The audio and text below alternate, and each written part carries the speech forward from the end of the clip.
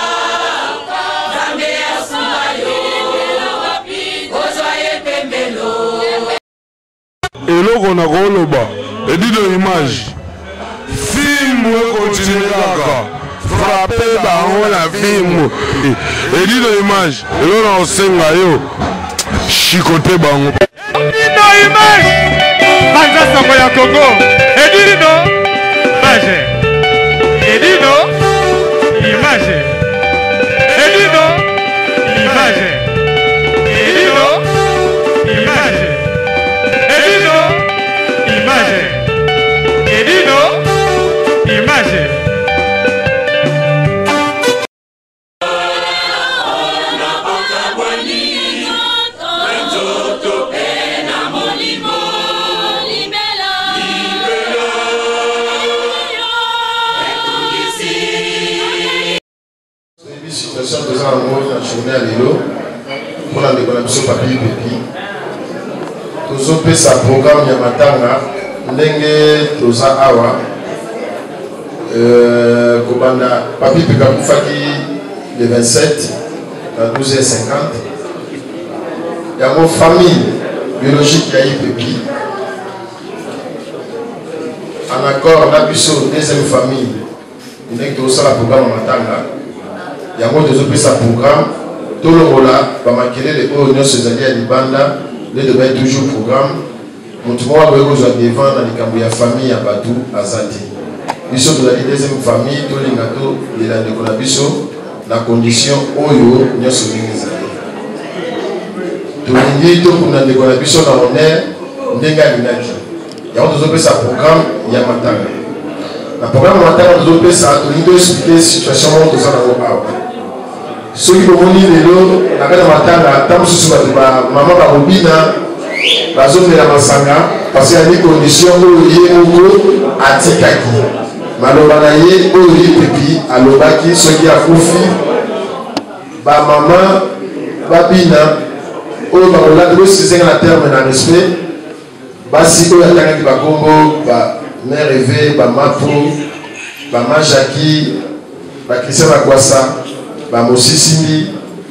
ba Claudine Kinwa, alobaki na bango ba niveau oyo abaki balata biloko oyo balata mpe babina balela ye te me babina epuis bamela masanga basi 4 ou bien 6 bakomema cercueil na ye ata 2 minutes Maloba oyo ye abandaki kobeta, abandaki koloba, atalaki tozali na ye, aloba na ngai, ngai basi fo bamema ngai nano liboso, avant mibali bamema ye. Donc yango toza na kati ya salle awa, bomoni totie système ya masanga, bato bazomela, bazonini, parce que ezali ndenge alobaki tosalela rythme na ye. yango wana toza na kati ya sale ezali mpe masanga ezali mpe kokontribue mpo na sale oyo tozali kobela ndeko na biso mpo ezala te kiyoloki moko na sale ezalaki te na mwa oyo ezomelama yango tozofutela sale Yango toke tomeka ko faire comprendre bino bandeko tozali ke suite ya oyo na yango avec accord na famille biologique ya lipepi programme tozopesa ya matanga yango famille ndenge mandataki ngai ndeko na bino tosala bademarche naye moweyi avant akufa yango bapesi nga nasengaki bango baloba babi ke non lokola ye moweyi atikaka maloba pai na yo donc continue kaka na nzela wana tokende mai toza toujours na yo ensemble donc yango nazwi parole mpo naloba liboso na bino na yango matanga kobanda lobi toza susu awa te mpo na matanga Kobanda lobi, matanga ebandi na Rue Boulevard Kangeni 92230 na Gennevilliers. Ti vendredi. Donc kobanda lobi tozali na Rue Boulevard Kangeni 92230 Gennevilliers. Ezali na arrêt ya bus ezali 4 chemin.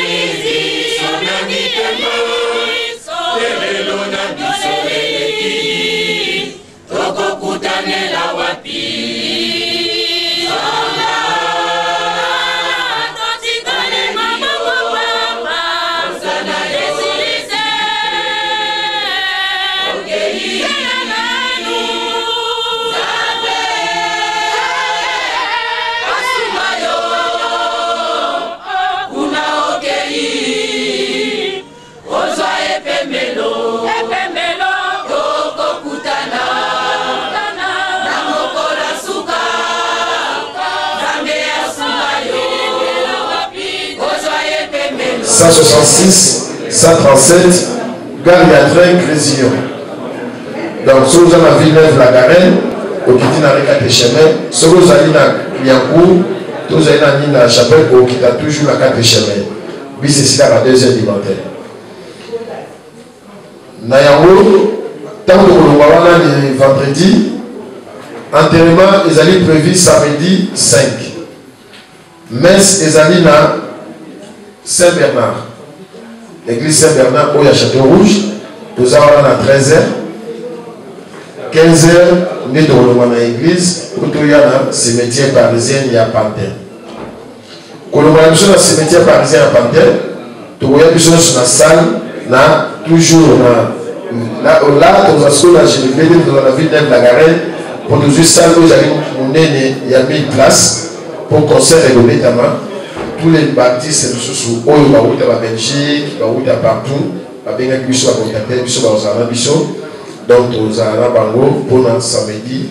Oyo wana na adresse oyo 34 avenue de Vieux chemin de Saint Denis 92 390 Villeneuve la Garenne. Wana ezali mpona samedi. Tokozala wana tokosa après cimetière tu dimanche na tongo oyo baokende bakei totika famille bakontinue sikoyo kosala na bango ya bango etali famille ye makambo oyo oyo atiki babongisa makambo na bango famille biso bandeko oyo tozali libanda toloma moto totika famille bazala calme bagere situation na bango biso tosunga nde famille tokunda ebembe ndenge moyi alingaki tokunda ye role na biso bato touti libanda ezali yango wana soki tobundi ye esili totikela bango charge na bango baye bakobongisa yango ya famille na bango babebisa babongisa wana etali biso te yango programme wana kaye ezali epai ya bamama oyo ye moko asengaki maloba naye atikaka soki akufi libilo moto mwasi ya papa charles monzon asimba kaye na ye yango tozwaki kaye topesaki na maboko ya madame monzon atambwisa kaye parce que mwana oyo aye ya mobali junior avandaka na pai na bango na kinshasa Soki Nzambe asungi, oyo tokosala soki eleki malamu? Oyo etikali, maloba na ye alobaki, Nefis kende asunga mwana na ye ya mobali. Donc maloba na ye oyo tuna ye kosolola, yango tozozongisa ngo toujours na maloba wana. Euh, tosengi na moto nyonso oyo ayebi ke aza na mwa quelque chose ya kosunga, parce que epai bakundaka, bakundaka ye na bato nyonso te. Kaye ezali wana, Matloni Kinwa bazali kotravaille ensemble na, na, na, na mama Loboto, wana bakimisaka ye yango message oyo tokopesa concernant programme wana mpo na kobanda lobi ndenge toexplike bino lelo tozali awa ntina ntongo oyo azali na probleme na motu aprofite nango te na esika oyo tolela ebembe ipepi azalaki motu akangaka kanda te akoki kokanga kanda na minute na seconde soki opesi vere ya masanga kanda yango ebungi nango donc ndenge toyebeli ye tomema yango mpe na ndenge wana yango tozokomela Boye epai ya masanga, soki kaka moto obetaki ye mbata, me soki ozwi ye molangi mwa masanga oyo opesi ye na pembeni, abosani nyonso oyo obetaki ye mbata. Yango tosenga na biso bandeko, tomela, tolela mpe tobina, tosepela na mawa nyonso tozala wana ta motema mpo na ndeko na soki mpe Message oyo na nga napesa na biso bandeko tozali awa to passe programme na tout le monde ke matanga ezali chaque jour matanga ezali chaque jour kobanda lobi ti vendredi na wi boulevard galini ekebanda kobanda 20 heures parce que salle awa tokobandeko oyo basungi biso mpo na salle awa ezali mpe esika na bango bapesi biso yango na presquement mpo ezali mpe esika na bango ya commerce Alors yango tomoni ke mpo to handikape mpe ko commerce na bango te yango tomoni ke tobandaka leta mpo bamosusu bauta bisika bauti ba belgique bakozala na biso yango tobongisi programme ke sale wana ezali un peu disponible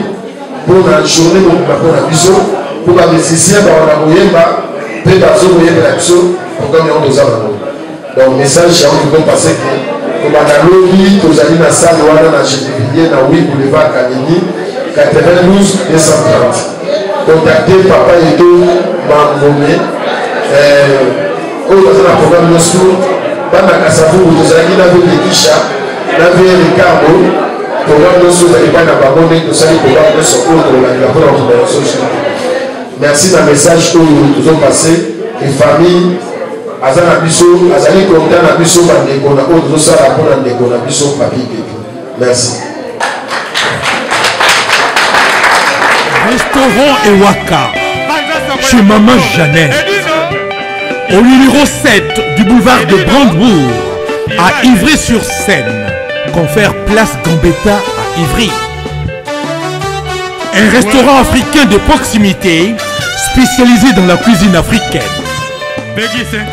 Ouverture tous les jours dès 13h à minuit.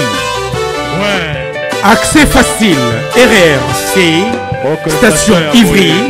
prendre bus 125 180, 323 ben, ou 325, arrêt ah Gambetta.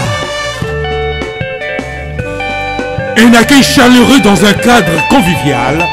nous propose des mets variés pour tous. La cuisine africaine à l'honneur, des plats préparés à la demande, à consommer sur place ou à emporter. Du poisson, malangwa braisé ou liboké, poulet braisé, des brochettes, mori macayabo. Cabri brézé,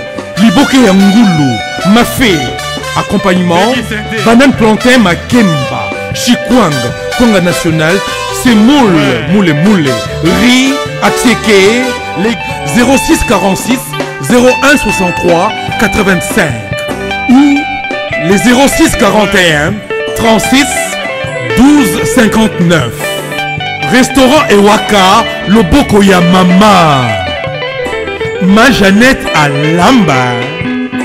tondimi yango soki moto na nakufi te oh. keba keba na bakomissionnaire nauti cimetiere réunion monene ezalaki na kati ya cimetiere na bawei ya monde atie keba na bakomissionnaire ya matanga so moto akufi baye na liboma bafoto oyo bango bayeba esika bakozwa soki nini soki nini bawei ya congo bawei ya ghana bawei ya poto bawei ya partout ya monde entier bazoseka bacongolais oyo bango so bakufi baproblème ezangaka te oyoka ono mobulu ebimaki mbale mbongo mbongo eutaki na poto mbale mbongo fini lelo solution ezwami global pm service service funérailles esali makambo ofuti awa basaleli yo makambo tout na kin pepele wana na bokasi ya patrik malwavengi ye kutu basolangana na nzela te makambo tu biro bafoto ezali okomona bacatalogue ndenge olingi bakundela ndeko na yo tata na yo mama na yo ndenge wana tu oyo okolinga okopona kuna na mboka bakozwa nyonso en charge kobanda na communiqué na batelevizio nyonso ya congo badiffuze communiqué na écologique yo opesi kaka photo cercueil corbillard chapelle ardente nyonso euta na poto babashe bakiti miziki oyo kobeta na matanga nyonso wana euta na poto makambo tu wana awa bokosolola na biro biro na bango eza na chateau rouge na chateau rouge na nabungi chateau rouge solution ezwami makambo te oyo balelaki boye totindi boye te donc nyonso ezoleka awa soki mpe famille eza na mobulu baza awa na capacité ya kozwilo police nationale eye mpo esala sécurité leve du corps bato bakomema yango bata sécurité balata uniforme suka na masolo ofuti awa bakundeli yo mowei na kini na ndenge ya bien na bakalite ya bien miziki ezali oyo olingi ebeta ya mboka na bino mboka tu okozilo miziki okobeta na suka masolo oye kozwa dvd oyo bakundaki na bafoto ndenge nini elekelaki suka na masolo kataloge ezali bobanga te makambo tu pepele global pm service funéraire ezali na 25 rue leon metro chateau rouge okoki kobenga bango na nimero oyo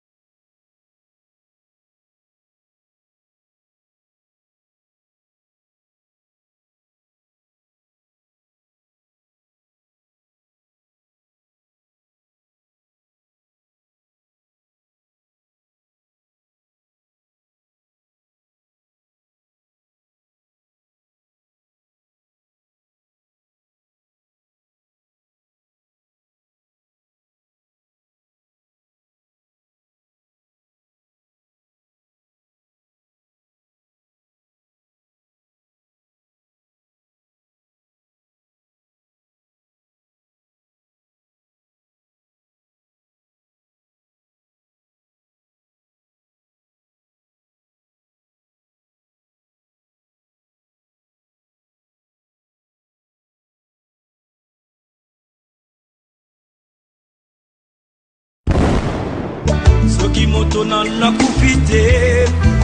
oh. keba keba na bakomissionnaire nauti cimetiere réunion monene ezalaki na kati ya cimetiere na baweyi ya monde entier te bana bakomisionere ya matanga so moto akufi baye na liboma bafoto oyo bango bayeba esika bakozwa soki nini soki nini baweyi ya congo baweyi ya ghana baweyi ya poto baweyi ya partout ya monde entier bazoseka bacongolais oyo bango so bakufi baproblème ezangaka te oyoka ono mobulu ebimaki mbale mbongo mbongo eutaki na poto mbale mbongo fini lelo solution ezwami global pm service service funéraille esali makambo ofuti awa basaleli yo makambo tout na kini pepele wana na bokasi ya patrik malwavengi ye kutu basolangana na nzela te makambo tu biro bafoto ezali